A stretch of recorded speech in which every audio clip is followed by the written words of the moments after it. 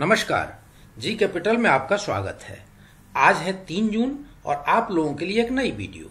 आज बात करेंगे पीएसयू सेक्टर की दूसरी दिग्गज बैंक बैंक ऑफ़ बड़ौदा में आज आई छह प्रतिशत से अधिक तेज़ी और उसमें आगे आने वाले टारगेट प्राइस के बारे में तो बने रहिए वीडियो में अंत तक। अगर आज के रिटर्न की स्थिति को देखें तो यहाँ देखेंगे कि आज कंपनी ने अपने निवेशकों को 2.49 परसेंट की पॉजिटिव रिटर्न दिया है और एक समय ऐसा था जब इसमें 6 परसेंट के आसपास की तेज़ी देखी जा रही थी।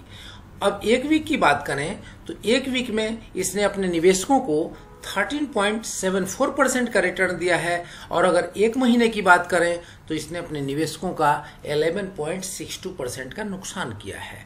अगर एक ईयर की बात करें तो ईयर में देखेंगे कि इसने अपने निवेशकों के पैसे लगभग सड़सठ point one nine sixty seven point one nine percent का निगेटिव ग्रोथ कर दिया है।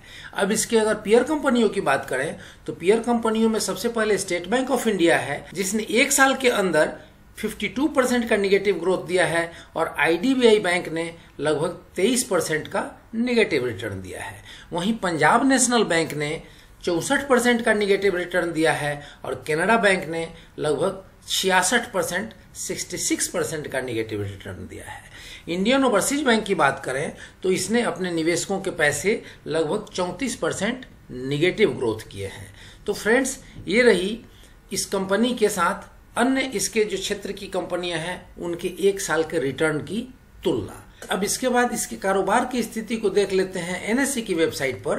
तो यहाँ देखेंगे कि इसकी जो ओपनिंग होती है सुबह वो बयालीस रुपये नब्बे पैसे से, और ये हाई बनाता है पैंतालीस रुपये दस पैसे का, जिस समय लगभग छह परसेंट के आसपास तेज़ी दिखा रहा था। उसके बाद इसमें मुनाफा वसूली होती है, और फिर ये two point two six percent के आसपास की तेज़ी के साथ क्लोजिंग देता है तैतालीस रुपये पंद्रह पैसे पे।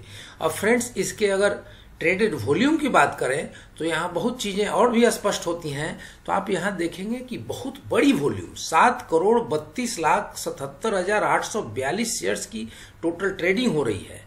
और उसमें से जो डिलीवरी है, वो है एक करोड़ सत्ताईस लाख नौ हज़ार पाँच सौ तिरपन शेयर्स की।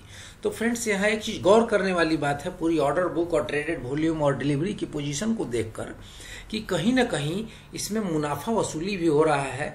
जिन लोगों ने छत्तीस सैंतीस रुपए के लेवल पे इस पे बाइंग किया है, उन्हें बीस परसेंट का मुनाफा हो रहा है। तो वो लोग यहाँ पे अपनी मुनाफा की वसूली कर रहे हैं, क्योंकि आप यहाँ देखेंगे कि सेलिंग क्वांटिटी अभी भी बासठ शेयर लगी हुई है, लेकिन बायर नहीं है। एक बात, दूसरी बात कि इसमें इंपॉर्टेंट बात है कि डिलीवरी कम है। तो कहीं ना कहीं इसको जो भी बाई कर रहा है, उसको ट्रेडिंग के पर्पज से बाई कर रहा है। तो इस कंपनी के शेयर के लिए यह एक निगेटिव एस्पेक्ट है और इसमें आने वाले दिनों में कमज़ोरी की झलक दिखती है। अब एक बार इसके ऑप्शन चेन को देख लें तो चीज़ें और स्पष्ट हो जाएँगी। तो अभी जो इसकी एट द मनी है, वो अगर तैतालीस रुपए की माने और ये जो ऑप्शन चेन है, वो 25 जून 2020 को एक्सपायरी वाली है तो पहले यहाँ कॉल राइटर के पॉइंट ऑफ़ व्यू को देख लें। तो यहाँ देखेंगे कि इक्कीस हज़ार सौ शेयर्स की तैतालीस रुपए के ऊपर फ्रेश कॉल राइडिंग है और कमुलेटिव ओपन इंटरेस्ट एक लाख निन्यानवे हज़ार आठ सौ शेयर्स की है। अब अगर इससे ऊपर की ओर बढ़ते हैं, चौवालीस रुपए को देखें तो चौवालीस रुपए के ऊपर दो लाख बत्तीस हज़ार दो सौ कॉन्ट्रैक्ट्स की फ्रेश कॉल राइटिंग है और कमुलेटिव ओपन इंटरेस्ट तीन लाख चौरानवे हज़ार दो सौ कॉन्ट्रैक्ट्स की है। अब उससे बढ़ के अगर पैंतालीस रुपए की बात कर लें तो पैंतालीस रुपए पर एक ह्यूज फ्रेश कॉल राइटिंग हुई है, ग्यारह लाख पचास हज़ार कॉन्ट्रैक्ट्स की और कमुलेटिव ओपन इंटरेस्ट इकतालीस लाख उन्यासी हज़ार छह सौ की।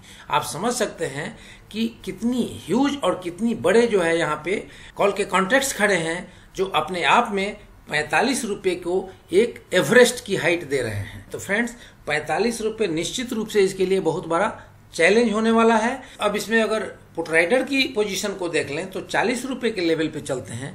तो चालीस रुपए के लेवल पर आप देखेंगे कि एक लाख चौरानवे हज़ार चार सौ कॉन्ट्रैक्ट की फ्रेश पुट राइडिंग हुई है। और कमुलेटिव ओपन इंटरेस्ट है, वो है पंद्रह लाख साठ हज़ार छह सौ शेयर की। तो यहाँ एक अच्छी सपोर्ट दिख रही है। अब इसके ऊपरी स्तरों पर बात करें, अगर एट द मनी के प्राइस पे तो कोई खास सपोर्ट नहीं दिख रहा है। जो फ्रेश पुट राइडिंग हुई है, वो है चौसठ हज़ार 800 शेयर्स की और कमुलेटिव ओपन इंटरेस्ट भी चौसठ हज़ार आठ सौ शेयर का ही है। इसका मतलब जो आज फ्रेश पुट राइटिंग हुई है, वही कमुलेटिव ओपन इंटरेस्ट में काउंट हो रही है। तो फ्रेंड्स अब इसे कंक्लूड किया जाए। कंक्लूड करने के लिए, इस कंपनी के शेयर प्राइस के लिए तैतालीस रुपये के ऊपर हर एक मुकाम बहुत बड़ा चैलेंज रहने वाला है। लेकिन चालीस रुपया इसके लिए एक ज़बरदस्त सपोर्ट होकर के भी निकल रहा है। अब इसके प्राइस मूवमेंट को अगर चार्ट पे देख लिया जाए तो चीज़ें और क्लियर होंगी। तो यहाँ दो बातें बहुत क्लियर दिख रही हैं कि आरएसआई की जो वैल्यू निकल के आ रही है, वो 44.43 की निकल के आ रही है, जो प्राइस में मजबूती के संकेत दे रहे हैं आने वाले दिनों में। और जो इसकी एमएससीडी है, वह भी एक बुलिस क्रॉस ओवर जो बना था, उसमें और तेज़ी के संकेत हैं। तो ओवरऑल ये निकल के आ रहा है कि प्राइस में तेज़ी बनी रहेगी। तो फ्रेंड्स इसको अब कंक्लूड किया जाए अगर तो यहाँ देखेंगे कि चालीस रुपया इसका निचला स्तर बना रहेगा और ऊपर की ओर चौवालीस, पैंतालीस रुपया जो होगा इसके लिए एक चैलेंज होगा और इसकी पहली जो टारगेट होगी, वो होगी इसके 50 दिनों की ईएमए जो 48 की है। तो फ्रेंड्स अगर इसने पैंतालीस रुपये के चैलेंज को पार कर लिया तो फिर उसके बाद इसको 50 डेज़ की ईएमए है वो फोर्टी नाइन रुपीज़ को टच करने में कोई दिक्कत नहीं है, क्योंकि फोर्टी फाइव के बाद इसमें रेसिस्टेंस कम है। तो इन सारी चीज़ों को देख करके आप एक बार एनालिसिस करेंगे और उन सारी चीज़ों को समझेंगे। स्टॉक अच्छा है, सरकार की पीएसयू कंपनी है, ये मेरी तरफ़ से है। लेकिन निवेश संबंधी कोई भी निर्णय लें तो उसके पहले आप अपनी एक स्टडी कर लें, एक रिसर्च कर लें, इसके बाद ही इसमें आप निवेश करें। तो फ्रेंड्स वीडियो अगर आपको अच्छी लगी हो तो लाइक शेयर सब्सक्राइब करें और बेल आइकन बटन प्रेस करना ना भूलें। ताकि ऐसे इन्फॉर्मेटिव वीडियो सबसे पहले आप तक पहुँचे। जय हिंद जय भारत।